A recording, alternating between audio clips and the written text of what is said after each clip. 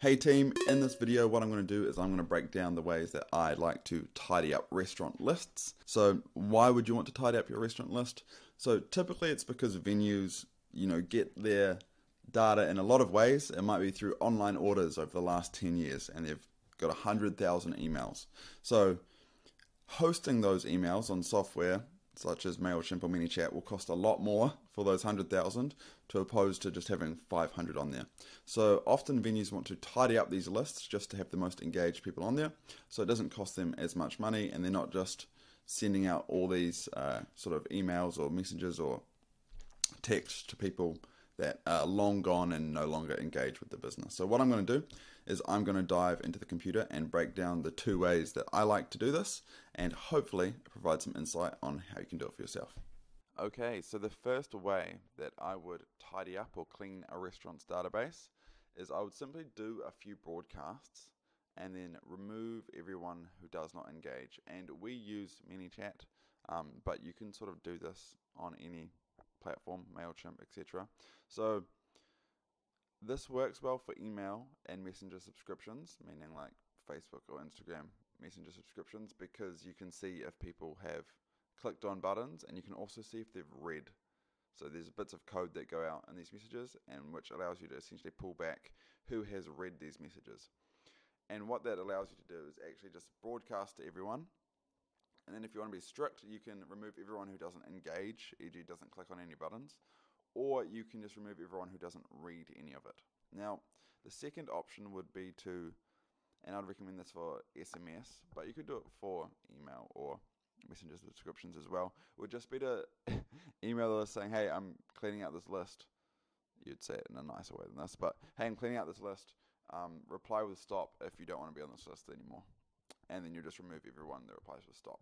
The problem with this is, let's say the email goes to some junk mailbox they no longer read, they're not going to reply with stop. But with SMS, it's kind of your only option for cleaning the list because you can't track necessarily, not that to my knowledge, um, maybe you can now, but um, you can't really track if they've opened or read messages as well as you can with email or messenger subscription. So I'll just show you how we do this in mini chat. So for example, let's say that you are a restaurant and you want to tidy up your email database and you want to um, get rid of people who aren't reading your emails. What you can do is you can go to broadcast on the left, you would create a new broadcast and I'm not going to go through the whole thing, but you'd create a new broadcast, etc., and you'd send it out.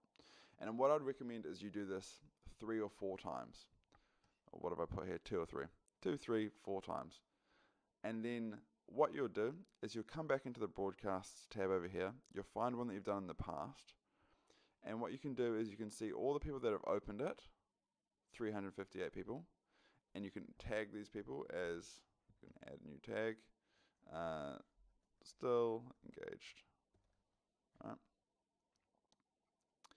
And so that's going to tag these 300 and so people, and you do that for all of your broadcasts. Okay, so that way you're going to start to build up a list of people with this tag that they're still engaged. And then what you would do is you just go to your contacts and you see there's 6,200 and if you filter by tag isn't still engaged. Then you've got the people that aren't engaged and you can remove them from your list. So that's one way of doing it. And the same applies for, let's see if I can find any messenger broadcasts in the past here. Um, yeah. So let's say this, you can see that 95 point, sorry, 95.7% of people opened this message, which is crazy good, which is why uh, Messenger is so powerful. And you can see that 40% of people clicked on this message, which is again crazy good, which is why people like to use Messenger. So what you can do is you can either be strict and you can just tag the people that clicked, or you can be a bit looser and just tag the people that opened, and you can tag these contacts with still engaged, and that will add that to your still engaged list. And then you're going to go through and remove everyone that isn't still engaged. So hopefully that makes sense on how to do this one, two to three broadcasts. So again, you do a few broadcasts, and then you would see everyone that has engaged, opened, however strict or loose you want to be with your rules around it, tag them, and then remove everyone that doesn't have that tag from your database. So that's one way of doing it. The second way of doing it is to broadcast the list, explaining that you're cleaning the list. um, and so you would just, again, you'd I don't think this account is set up for um, SMS broadcasts, but you would do an SMS broadcast, click the SMS button, and you would say something like, "Hey, first name, um, we're knocking off two birds with one stone here. Uh, everyone replies who replies with a yes goes in the draw for fifty dollar food and beverage voucher. Everyone who doesn't, we're removing off from this database because we're trying to tidy things up on our end. Have a wonderful Monday. You could say something like that. Um, and then you can just remove everyone. Again, you do that maybe two times just to, as a bit of a catch-all to make sure that no one falls through the cracks, and then that's one way of cleaning your SMS database. So this was a short video. Hopefully, it provided just a few different ways to think about it. Again, this is how I would do it. I'm sure there's other people that do it in different, more intelligent ways. Um, the other way, if you want to clean emails, is you can just run them all through, let's say, a software called NeverBounce is what we use just to tidy up the email list. Um, that's kind of only applicable for emails though. And I'm sure there's other cleaning software out there for phone numbers. But if you're getting your phone numbers through, um, let's say Facebook, um, for people subscribing, it's typically going to be the actual phone number because it's what they're subscribing uh, to your messenger notifications from, and it is the the phone number that's attached to their Facebook account, which must be a valid phone number. So, if you're wanting to clean your lists, I would recommend doing it this way.